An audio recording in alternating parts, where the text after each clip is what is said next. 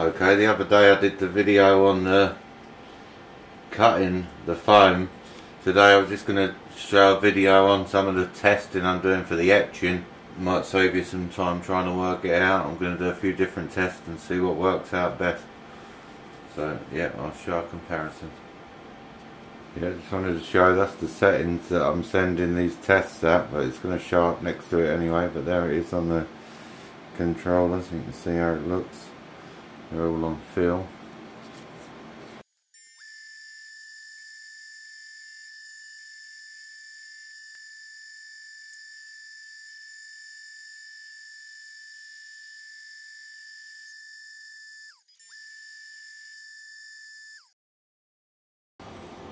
Yeah, you can see from the test there, really, you don't need a too high a dots per inch, but a fast speed and a low power just gives you a nice little clean etch.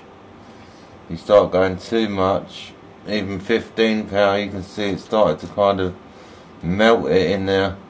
This one's just kind of taken the top layer off. I mean, it's, you know, plenty deep enough really just for etching.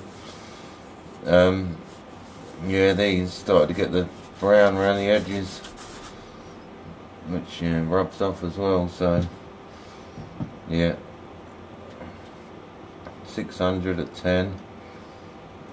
No, I'm gonna do one more. 600 at 12 and 175 or maybe actually what I'll do is just put the dots per inch up a little bit. See how that goes. See if it just gives a little bit more.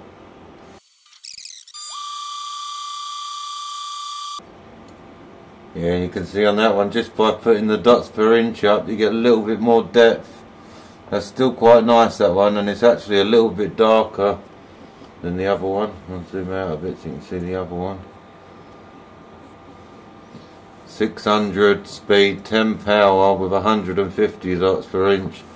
600 speed with 10 power with 250 dots per inch. I'll get it zoomed in a bit so you can see a bit more close up.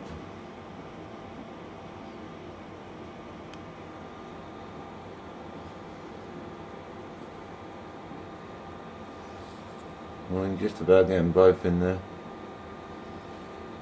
So yeah, I definitely think the faster power may be a little bit higher dots per inch and then you get it don't look burnt in there but it's still pretty dark so yeah I'm pleased with how that come out. And I've got to try a project with that one and I'll update you soon